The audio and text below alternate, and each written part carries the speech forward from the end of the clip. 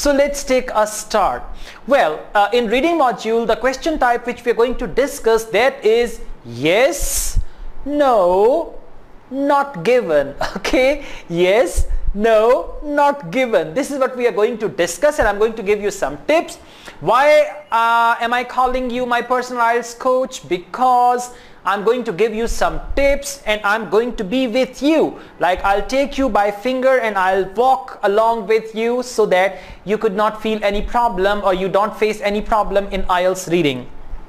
Okay, let's see the questions. Uh, I'll show you the questions first. The question type is yes, no, not given. And the question is the destruction of land for food and firewood is linked to desertification.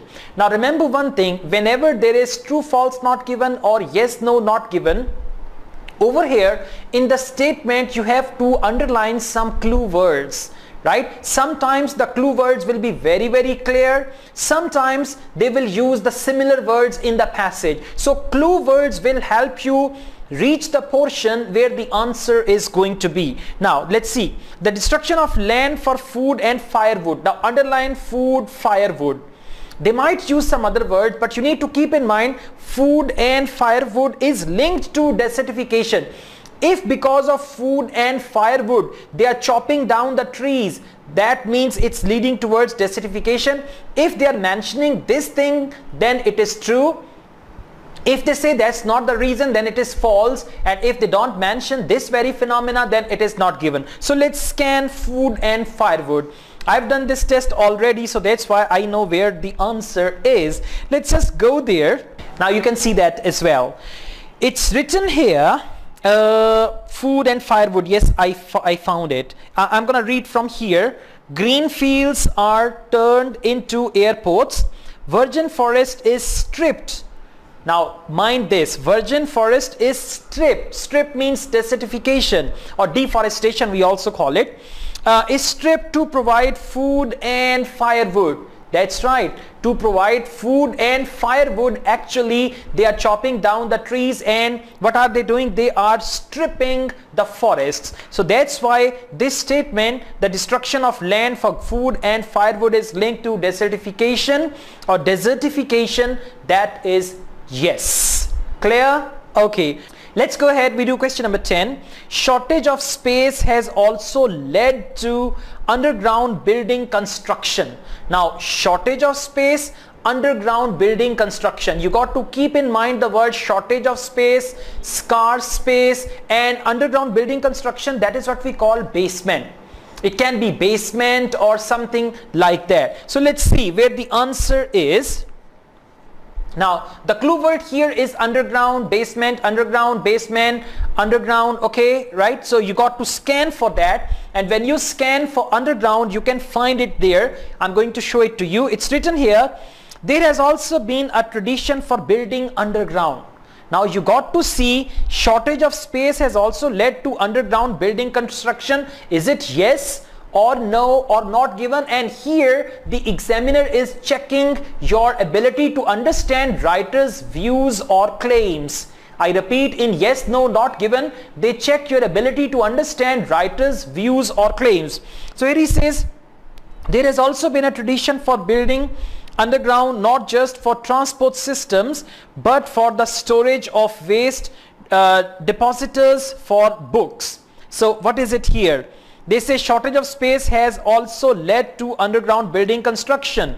Yes, there has also been a tradition of building underground not just for transport system and all that stuff. So this is going to be yes because the writer has mentioned that there is a tradition of building underground. And if you look at the beginning of the paragraph there you will understand that they are talking about uh, uh, shortage of space. So this whole paragraph, this whole passage is about shortage of space. So question number 10 is yes. Number 11, the building of the airport in Japan cost much. Now the clue word is Japan and airport. Now you got to see whether the building of the airport in Japan cost much more than that of the housing complex in Dubai.